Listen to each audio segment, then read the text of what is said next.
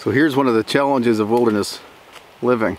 Standing in a patch or sitting in a patch of uh, raspberries, the raspberry bushes, which is right near the cabin and right um, kind of between all the trees that I tapped this year for maple syrup. But we're in the middle of a, a drought right now and there's no raspberries. This is peak raspberry season. It's the second week of July and as you can see, these raspberries are just not forming. There's no moisture. That's basically, oh yeah, it's rock hard. Dehydrated raspberries. So they're not even maturing. They're not going to by the looks of it unless we get some major rain. I've had a couple of heavy, heavy rains, but they come so quickly and then it warms right back up again and it all evaporates or runs across the top of the ground because it's so dry. So it's a bad situation if you're trying to live off the land.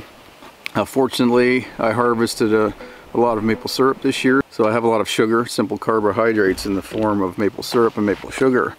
But if I was counting on these berries, which I really was hoping to get a lot of berries picked this year and dehydrated or made into jams or something, preserves, uh, to last me through the winter till next um, next spring. But not going to happen with raspberries by the looks of it. Strawberries up here are sporadic. There's just a few wild strawberries, so not enough to harvest. I, I just eat them as I find them. But blueberries, will be maturing. They like this dry, hot weather, but same thing, they do need some rain, a fair amount of rain to uh, mature fully.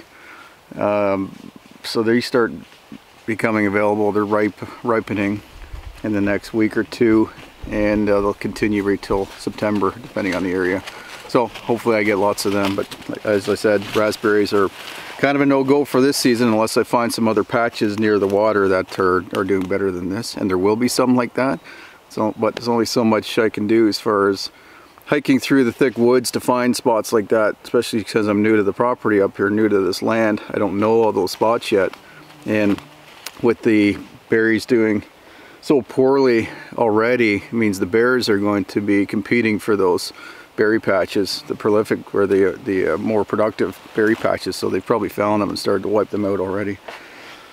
So I'll see what I can find, but I'm not counting on it. So I've got to continue to, to uh, find local sources from probably from local farmers or local uh, homesteaders that are growing stuff and have some excess. And that's why our species has been relying on agriculture for so long.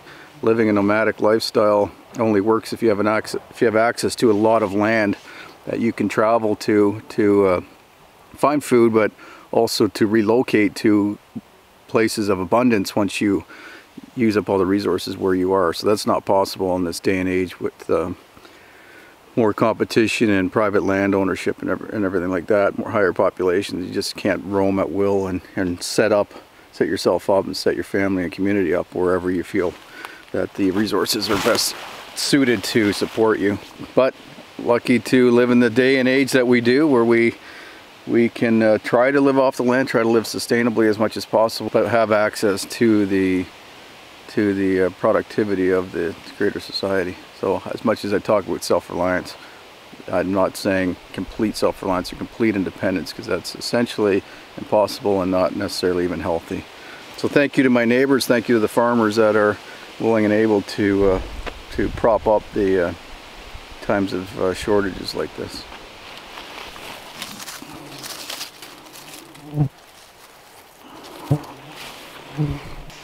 Always works out that way that I miss the animals that are coming through. So away with for a couple of days with my wife doing a couple road trips around the countryside and looks like a moose was through here in the last day or two. While we were gone I guess plus it was that night while we were sleeping in the cabin. Um, I gotta check the trail cameras to see if I captured any footage of the moose walking through down in the valley or, or past the cabin here